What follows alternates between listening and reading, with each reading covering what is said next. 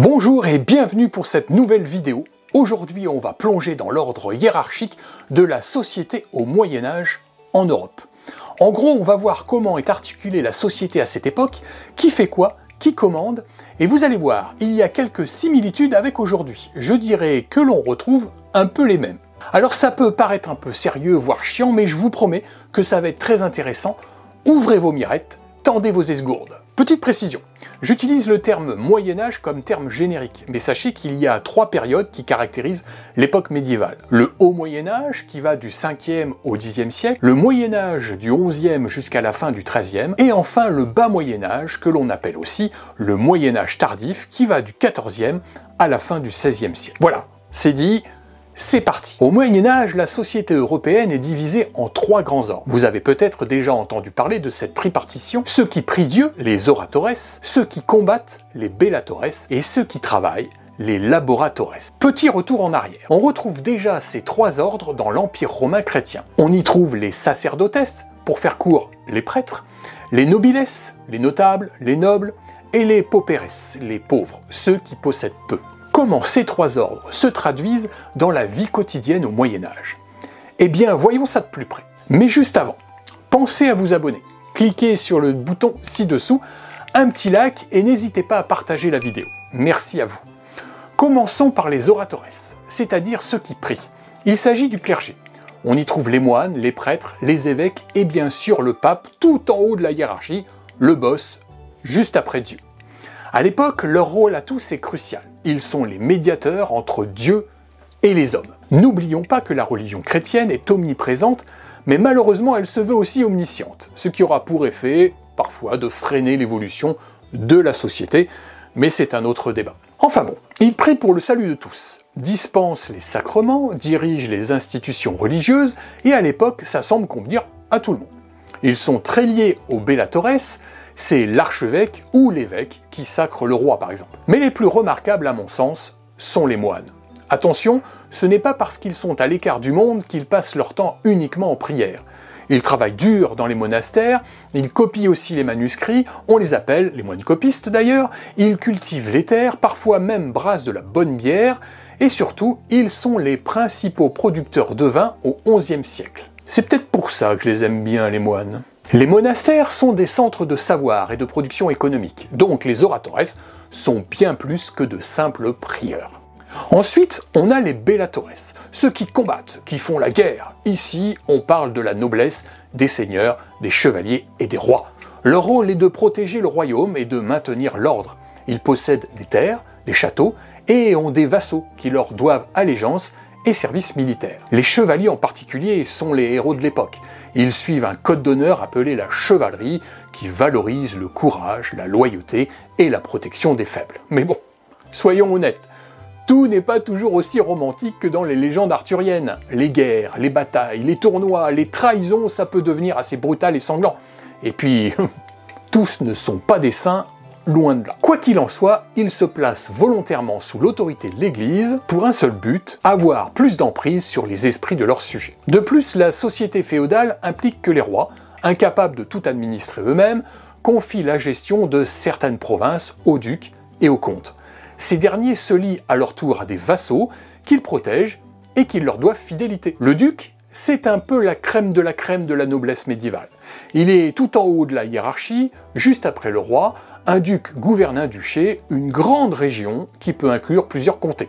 Exemple, le duché d'Aquitaine, appelé aussi le duché de Guyenne, au VIe siècle. C'était un vaste territoire qui allait de la Loire au nord, descendait jusqu'aux Pyrénées au sud et allait jusqu'à la mer Méditerranée à l'est. Le duc a une autorité énorme et souvent il est presque aussi puissant que le roi lui-même.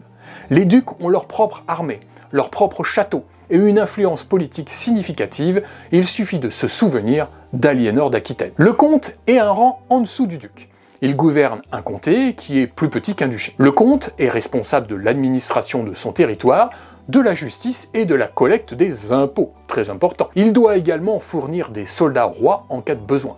Les comtes ont beaucoup de pouvoir localement, mais ils doivent souvent rendre des comptes, sans mauvais jeu de mots, au duc ou directement au boss, roi. Le seigneur est laïque, attention, ce qui signifie qu'il ne fait pas partie du clergé, ce n'est pas le laïc d'aujourd'hui. Il est également le juge des conflits locaux et des infractions. Il pouvait imposer des amendes, des punitions corporelles, voire des exécutions pour les crimes les plus graves, mais contrairement à ce que l'on pense, c'était plutôt rare. Ben non, le Moyen Âge, ce n'est pas que la grosse boucherie que l'on vous a souvent enseignée. Les seigneurs avaient aussi le pouvoir de banc, c'est-à-dire le pouvoir de faire des règlements, des lois, et de les faire respecter sur leur terre. Cela comprenait le droit de lever des taxes, de conscrire des hommes pour la guerre, et de contrôler les ressources naturelles comme euh, bah, les forêts et les rivières. Petite parenthèse.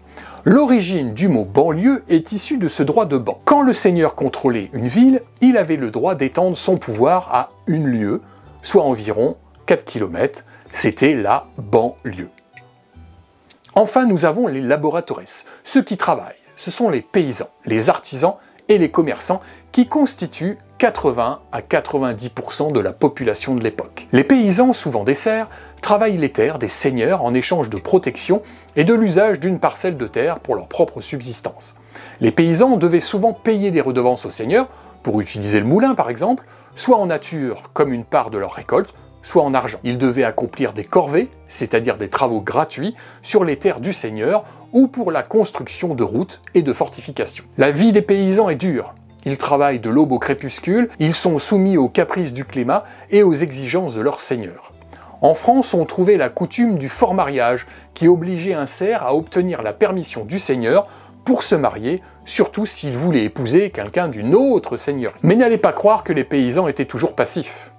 Il y a eu des révoltes sanglantes, comme la célèbre jacquerie en France de 1358, où les paysans du nord du bassin parisien se sont soulevés contre les lourdes taxes et les abus de pouvoir. Ces révoltes étaient souvent violemment réprimées, mais elles montraient bien que les paysans étaient conscients de leur statut social et prêts à se battre pour de meilleures conditions de vie. Les paysans restent essentiels à l'économie médiévale. Sans eux, pas de nourriture, pas de matériaux de base. Les artisans, eux, vivent surtout dans les villes les bourgs. Ils sont organisés en guildes, sorte de syndicats qui régulent la qualité des produits, les prix et la formation des apprentis. Les commerçants, quant à eux, commencent à jouer un rôle de plus en plus important à partir du XIe siècle, avec l'essor des échanges et des foires. Petit aparté sur les guildes. Une guilde régule le métier auquel elle est rattachée.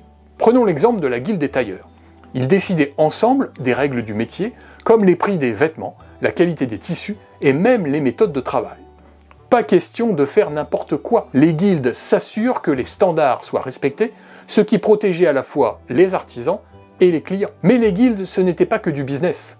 Elles jouaient aussi un rôle social et religieux. Chaque guilde avait son saint patron et organisait des fêtes, des processions et des œuvres de charité. Elles pouvaient même construire des églises ou des chapelles.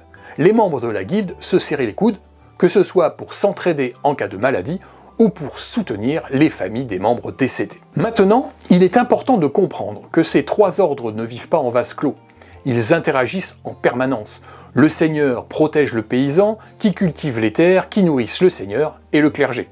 Le clergé pris pour le salut de tous, Amen, et justifie souvent le pouvoir des nobles. C'est un système de dépendance mutuelle. Quoi qu'il en soit, celui qui est en bas, c'est lui qui morfle. Cette hiérarchie est bien sûr idéale et théorique. Dans la réalité, il y a des tensions, des révoltes paysannes, des conflits entre seigneurs et même des querelles au sein de l'Église. Mais l'idée est que chacun a sa place et son rôle défini par Dieu. Vers la fin du Haut Moyen Âge, cet ordre hiérarchique commence à être sérieusement remis en question. L'essor des villes, le développement du commerce, la montée en puissance de la bourgeoisie et même les bouleversements provoqués par la peste noire modifient les équilibres. Les paysans se révoltent, les rois centralisent de plus en plus le pouvoir et de nouvelles idées commencent à germer. Mais ça, c'est une autre histoire. Voilà, c'était un petit tour d'horizon de la société médiévale et de son ordre hiérarchique. J'espère que vous avez trouvé ça aussi intéressant que moi. Si vous avez des questions ou des sujets que vous aimeriez voir abordés dans de futures vidéos, n'hésitez pas à laisser un commentaire. N'oubliez pas de liker la vidéo si elle vous a plu, de vous abonner pour ne rien manquer et de la partager pour faire découvrir cette période incroyable à vos amis. Ça n'a l'air de rien, mais pour faire grandir la chaîne et pouvoir vous proposer de nouvelles vidéos, c'est très important pour moi. Merci d'avoir regardé et à bientôt.